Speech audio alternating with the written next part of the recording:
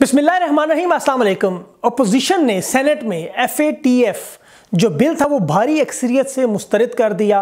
اور آپ یقین جانیں اس کا کیا نقصان ہے؟ میں آپ کو تھوڑی سی تفصیل بتاتا ہوں، آپ کے رونگٹے کھڑے ہو جائیں گے۔ سب سے پہلے تو آپ کو یہ بتاؤں کہ ایف اے ٹی ایف ہوتا کیا ہے؟ یہ بالکل اس طرح ہے فائنینشیل ایکشن ٹاسک فورس یہ ایک انٹرنیشنل واچ ڈاگ ہے کہ جس کا کام ہے کہ دنیا کے ممالک میں یہ دیکھے کہ کہیں اس پیسے کا جو منی لانڈرنگ ہے، وہاں سے کمایا ہوا پیسہ کہیں باہر تو نہیں جا رہا، یا کوئی ایسی تنظیموں میں یا ایسی سرگرمیوں میں پیسہ استعمال نہ ہو، جو کہ دنیا کے امن یا دنیا کے لیے خراب ہوں۔ سب سے پہلے میں آپ کو بتاؤں، اگر آپ اپنا بینک میں ایک اکاؤنٹ کھلوائیں تو آپ کو شناختی کارڈ دینا پڑتا ہے، ایک گیرنٹور دینا پڑتا ہے، کچھ فارم فل کرنے پڑتے ہیں اور کسی کی ضمانت ہوتی ہے، آپ کا عطا پتہ آپ کا فون نمبر ساری معلومات حکومت کے پاس جاتی ہیں۔ آپ ٹیکس پے کرتے ہیں اور اگر کوئی گڑبڑ ہو، آپ کی منی ٹریل حاصل کرنی ہو، تو بڑے آرام سے مل جاتی ہے۔ لیکن اگر آپ حوالے کے تھرو اگر پیسہ بھجوائیں، تو پھر ان پیسوں کو ٹریک کرنا بڑا مشکل کام ہے۔ کس نے بھیجے، کتنے بھیجے، کہاں بھیجے اور وہ پیسے کہاں استعمال ہوئے، کہاں سے آئے، یہ تمام سوالات کا جواب بہت مشکل ملتا ہے۔ اسی لیے پاکستان میں ایسی قوانین، ایسے قوانین ہونے ضروری ہیں کہ جن سے آپ کو یہ پتہ چل سکے کہ یہ پیسہ جو پاکستان میں جو لین دین ہوتا ہے، جو ٹرانزیکشنز ہوتی ہیں، ان کو باہر بھجوایا جاتا ہے، یہ سارے کا سارا ایک میکنزم ہو۔ دو ہزار آٹھ میں میاں محمد نواز شریف صاحب کی حکومت میں یہ case F A T F کے پاس گیا۔ پاکستان کا نام اس گرے لسٹ میں آیا۔ اب اس گرے لسٹ میں آیا صرف اس وجہ سے کہ پاکستان میں وہ قوانین موجود نہیں تھے۔ اور اسی لیے نہیں تھے کہ اس وقت ان لوگوں کو اپنی لانچیں بھر کر پیسے دبئی بھیجنے تھے۔ گلف نیوز کی آپ کو رپورٹ یاد ہوگی کہ جس میں انہوں نے کہا تھا کہ پاکستان کے بہت سے لوگوں کی بڑی بڑی پراپرٹیز اور بلڈنگ یہ دبئی میں موجود ہیں۔ سوئس بینکوں میں، سرے میل میں، آپ جہاں جہاں نام لیں کرپشن کے، وہ عجب کرپشن کی غضب کہانیاں آپ نے سنی ہیں اور ان میں نوے پرسنٹ زیادہ سے، اس سے بلکہ زیادہ وہ سچ تھیں۔ اس وجہ سے یہ لوگ قانون بناتے ہی نہیں تھے کہ اگر قانون بنائیں گے تو پھر پیسہ ٹرانسفر کیسے ہوگا؟ اسی وجہ سے وہ نام جب گرے لسٹ میں آیا، اب آپ کو پتہ ہے کہ گرے لسٹ میں صرف پاکستان نہیں ہے، گرے لسٹ میں اٹھارہ اور ممالک ہیں، جن میں البینیا ہے، یوگینڈا ہے پاناما، میانمیر اور بہت سارے ایسے ممالک ہیں، اور اس کے ساتھ پاناما اور پاکستان کا نام بھی ہے۔ اب پاناما وہی ملک ہے جہاں کا کیس چلا اور اس کے بعد پھر وزیر اعظم نواز شریف صاحب کی برطرفی ہوئی۔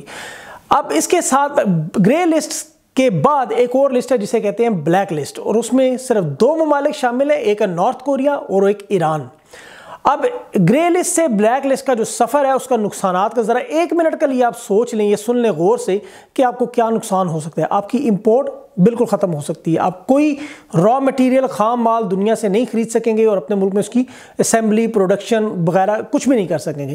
آپ دنیا میں کوئی چیز ایکسپورٹ نہیں کر سکیں گے۔ آپ کے پاس جتنا مال بنا ہوا ہے، آپ کی جتنی انڈسٹریاں بنی ہیں، وہ ساری کی ساری بیٹھ جائیں گی۔ آپ کوئی مال باہر نہیں بھجوا سکیں گے۔ تیسری اہم چیز ہے آپ کی ریمیٹنسز دنیا بھر میں جو اٹھانوے لاکھ ایک کروڑ سے زائد جو پاکستانی اس وقت موجود ہیں، جو فارن ریمیٹنسز بیچتے ہیں، ہر سال آپ کو پتہ ہے، اس سال بھی ففٹی ون پرسنٹ اس میں، اکاون پرسنٹ اضافہ ہوا۔ وہ نہیں آ سکے گی۔ اس سے کیا نقصان ان لوگوں کو، ان کے گھر والوں کو، یہ آپ سوچ لیں۔ آئی ایم ایف جو آپ کو لینڈنگ کرتا ہے پروجیکٹس میں آپ کو مدد کرتا ہے اسی طرح ایشین ڈیولپمنٹ بینک جو پاکستان کے بہت سے منصوبوں میں ان کے پارٹنر ہیں، بڑے بڑے میٹرو ٹائپ کے منصوبوں میں وہ لوگ پھر اس میں مدد نہیں کر سکیں گے۔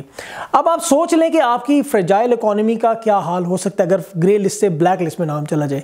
ہمارے پڑوسی ملک نے اس پر بڑی کوشش کی، انہوں نے بڑی لابنگ کی۔ دنیا کو قائل کرنے کے لیے کہ پاکستان کا نام کسی طرح گرے لسٹ سے بلیک لسٹ میں چلا جائے۔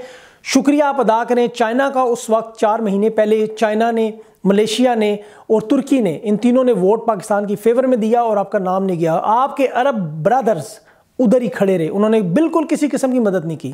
خیر، ان کو چھوڑیں۔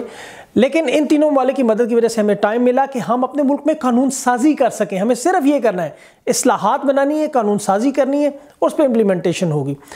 یہ بل سینٹ میں بھاری اکثریت سے ریجیکٹ ہوا۔ قائد عوام جو ڈاکٹر وسیم صاحب تھے، انہوں نے بات کی کہ یہ کہ جی ہم سے پہلے بھی یہ نام گرے لسٹ میں تھا۔ کچھ پارٹیاں اس میں مزید جو ہے وہ کرپشن کر چکی ہیں۔ پاکستان پیپلز پارٹی پاکستان مسلم نون۔ انہوں نے لیڈران کا نام نہیں لیا جو انہیں لینا چاہیے تھا کہ آصف علی زرداری صاحب پہ الزامات ہیں، لانچنگ۔